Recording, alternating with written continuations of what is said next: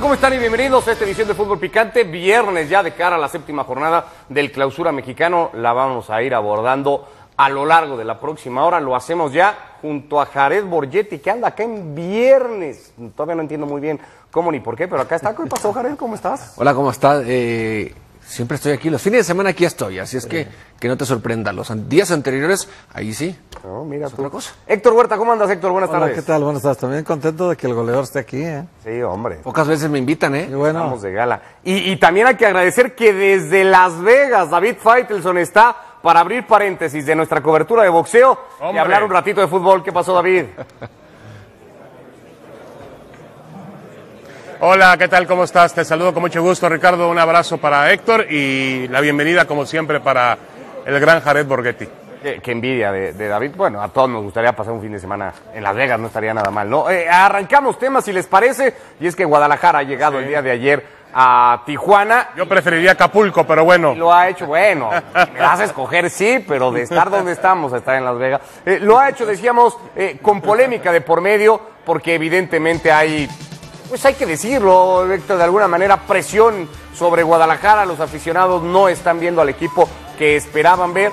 Y esto, sin tener, por lo menos no de mi parte, toda la película completa, ha provocado en al- algún tipo de enfrentamiento entre un aficionado que aparentemente le habría dicho solamente a Ponce, ponte la camiseta, Ponce ha dicho que después o antes de eso hubo un par de manotazos y provocó la reacción, la mala reacción hay que decirlo, tanto del futbolista como de la gente de seguridad de Guadalajara. yo creo que aquí hay errores múltiples, ¿no? Porque en primer lugar, el aficionado tiene derecho de reclamar, no de esa manera, eh, no, no con empujones, no con... eh, el momento no está para situaciones de este tipo, porque el jugador también está caliente, el jugador tampoco está a gusto perdiendo.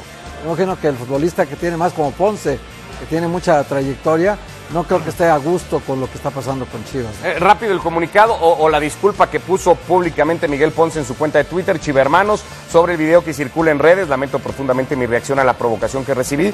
Antes de lo que se muestra en el video, recibí tres manotazos en el pecho mientras firmaba una playera y eso me llevó a reaccionar de esa forma cuando debí de mantener la calma.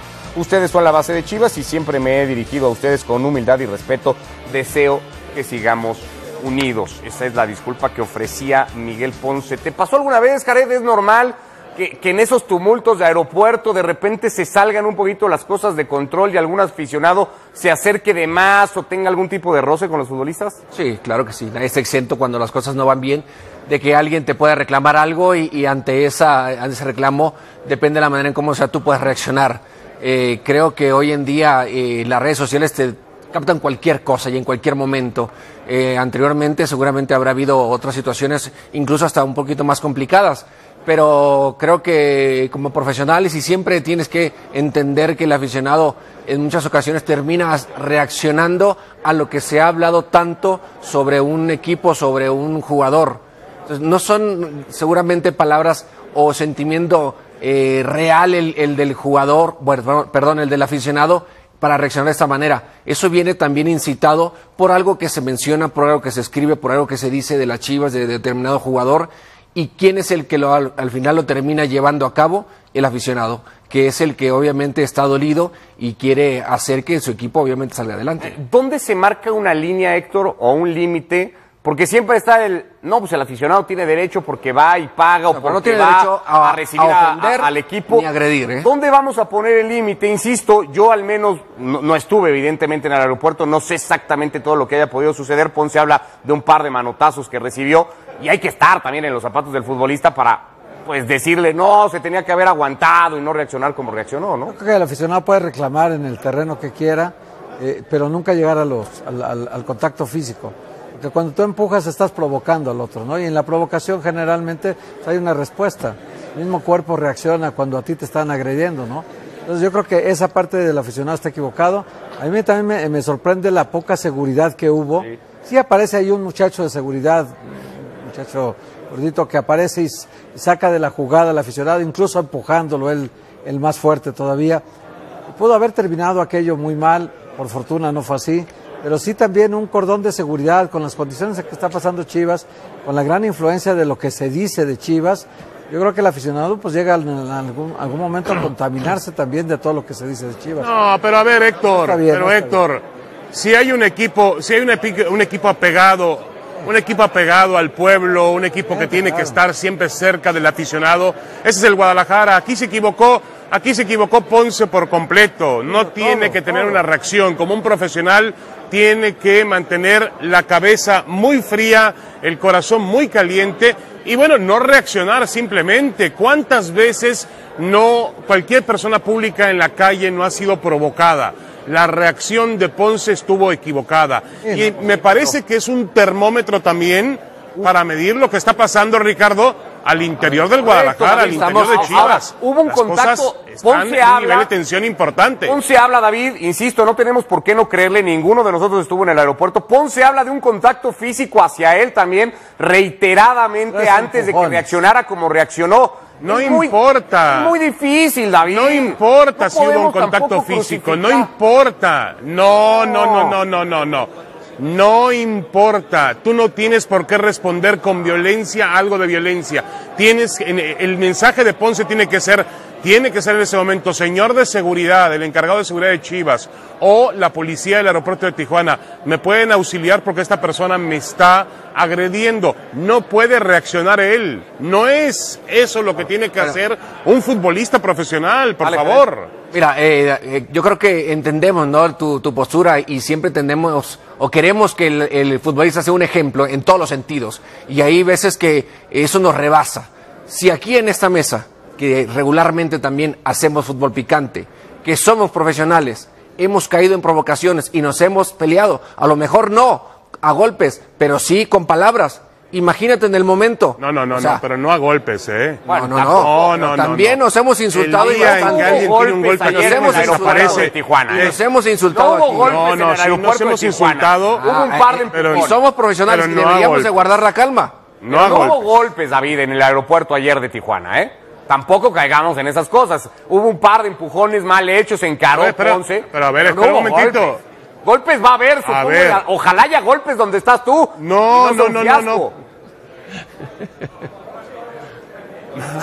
No, y es más, la Comisión de Nevada ya prohibió hoy el face-off famoso en el pesaje porque tiene miedo que se empujen y se golpeen. Dice que está fuera de los eh, esquemas tradicionales del boxeo. Pero bueno, volviendo al tema de Ponce, volviendo directamente al tema del jugador de Chivas, sí me parece que él tiene una gran responsabilidad porque tiene que tener la cabeza fría.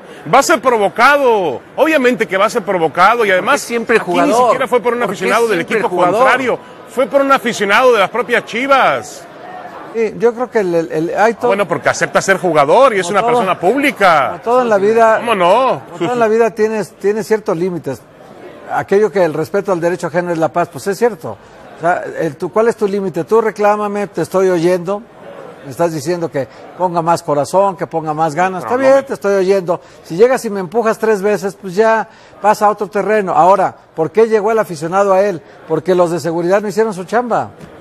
Porque no solamente había uno, había Ah, pero varios. si de también, si también pones el cordón, Sí, bueno. nos vamos a quejar. También... Porque están intocables. Recordarán también la vez de cuando México llegó a una isla y que decía, ah, no se acercaron a los aficionados. Bueno, a veces no entendemos. el- Sí. O los O dejas es- pasar, ¿cuál es o el por eso los dejas decía, pasar. Bueno. o, o por eso que No, decía esa David, fue- Héctor, porque esa fue una hay una majadería. necesidad Esa a lo fue una mejor de majadería, llevar al eh. equipo ante la falta de resultados, a lo mejor sí, hay una, claro. una necesidad de llevarle el, el equipo a la gente y de decirle a la gente, pues no estamos rindiendo David en la cancha, pero miren, acá estamos con nosotros Claro. y, nos, y damos nuestro Pero baño ¿sabes de una pueblo, cosa? y- ¿no? Pero Ricardo, Ricardo, Ricardo y Héctor, yo estoy completamente de acuerdo con el aficionado de Chivas. Digo, no en la manera en la cual la empujar a no, nadie, pero la afición de Chivas tiene no. todo el derecho de estar molesta, tiene todo el derecho no de no de golpear, no con violencia, pero tiene todo el derecho de estar enojada, de estar molesta. Lo que ha sido el equipo Claro. durante las últimas temporadas, una auténtica vergüenza. no es Ponce el claro único que tienen que estar ¿eh? enojados. A ver, Héctor, No es Ponce el único. Ponce ayer en el aeropuerto, como No, sea, no, no, no, y, no. y- y con lo que haya sucedido. Chicote el domingo en un concierto subiéndose a cantar después de haber perdido un partido como el que se termina perdiendo y con las repercusiones que tiene. Eh, eh, se, se están saliendo las cosas de control en Guadalajara. No es nuevo tampoco que en Chivas de repente veas a futbolistas Guadalajara. hacer Más cosas en en Guadalajara. Guadalajara, cosas que no tendría que hacer un No, no, futbolista. no, porque también ya los del Atlas aparecieron en el entrenamiento, pararon los coches de los jugadores del, del Atlas, perdón, y les exigieron también ponerle eso que ponen las gallinas, les exigían eh, que pusieran en la cancha todo el corazón, igual. Porque en Guadalajara también la gente tiene mucha cercanía con los aficionados, o sea, perdón, con los jugadores. Saben dónde entrenan, a qué hora salen, en qué carro salen. Hay muchos seguidores que sí saben por dónde se mueven. Ahora, lo de Calderón es una indisciplina que le va a costar un dinero en, en un- Ahora, Héctor, Pero lo de, lo de, de ahora de Héctor, no me dejará mentir Jared Borghetti, pero decían, decían, decían los argentinos que en México es de risa. Pierdes el partido 4-0 presión, sí. y sales del estadio firmando autógrafo. Autógrafo, Sí. Sí, sí, sí. En ese o sentido tampoco razón. la presión Pero en prefiero México, eso tampoco la presión en México a que es suceda lo tal, que sucede ¿eh? en Sudamérica, Sí, ¿eh? Sí, mejor, No, la mejor que te que pidan autógrafos a que te amenacen, ¿no, David?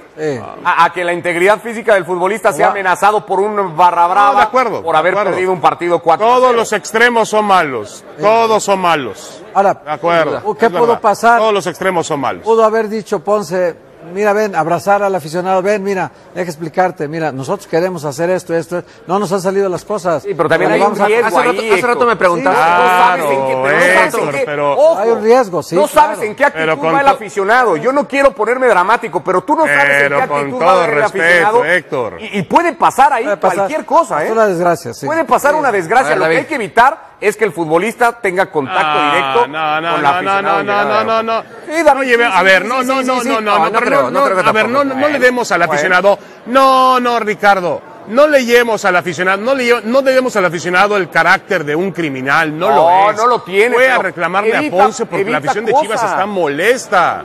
Bueno, pero no, no. Ah, bueno, por favor, pero no, no, no, no lleves, jamás llevó un arma, jamás él Ya se lo sé. calentó con el futbolista Pero y no le reclamó al futbolista. de correr esos riesgos. Lo que yo creo que el aficionado es que tiene no toda la razón del mundo. No corra riesgos, haz Tiene un toda la círculo de razón del mundo en reclamarle. ¿Sabes qué? bueno. David, eh, compañeros, a mí me tocó muchas ese tipo de situaciones eh, en llegadas al término de partidos donde la situación ha ido bien y tienes varios partidos sin ganar como lo está haciendo Chivas hoy, ¿no? Y claro, había reclamos y a ciertos jugadores eh, se, le, se le pone más, eh, más énfasis. Y sí, hay veces que estás un poco frío o hay veces que eh, estás un poquito más enojado, ¿no? Alguna de mis respuestas era cuando se enojaban o que me decían el clásico, échale ganas. Y mi respuesta, ¿tú crees que yo no quiero ganar? ¿Tú crees que me da alegría perder o salgo tan tranquilamente porque perdí? Al perder no solamente perdí el partido, perdí muchísimo no, más. no, no. Y claro, De acuerdo. claro, o sea, lo que quiero es hacerle entender al, al- al- al aficionado es que te duele también, pero no está tampoco solamente en ti, es un, Mira, grupo, es un equipo, que también hay voy a muchas contar otras algo. circunstancias como para decir, Jared. culpa solo mía. El No, de acuerdo, mira, Jared, el otro día estaba yo y llegaba, llegué tarde a un avión eh, en el aeropuerto de la. Ciudad de México, para no variar, y, había una fila muy larga en, en- seguridad, había una fila muy larga y le pedí permiso a persona por persona para poder pasar. Y mucha gente me decía, sí, pásele adelante. Y le digo, se me va el vuelo, por favor, deme permiso de llegar a mi puerta.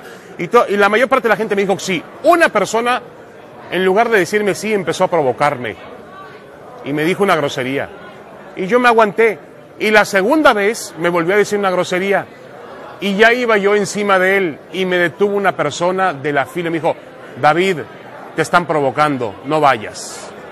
Y es verdad, me estaban provocando en ese provoca. momento. Lo mismo pasa, pasó con Ponce, te estaban provocando. Es lo que- es lo bueno, Más a mi favor, en la reacción del ser humano en ese cosas. momento Bueno, tienes que entender a alguien que, que no puede ayudó. reaccionar. Once no lo tuvo cerca como para decir, hey, tranquilo. Eviten estas Eso es cosas, que Héctor, dice es más fácil, ¿no? que tendría que haber estado alguien más cerca de Mira, Lo, lo- lo que dice Ricardo es, nosotros no sabemos si un aficionado llega con coraje, con ganas de Claro. pelear, si llega con un arma blanca, si llega con una pistola, no se sabe. Evítalo. Como no se sabe, pues hay que evitar que lleguen a esa zona de enfrentamiento directo con la gente.